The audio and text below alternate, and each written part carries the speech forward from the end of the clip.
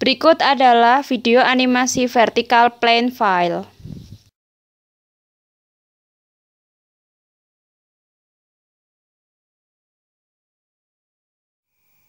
Bentuk dari vertical plane file.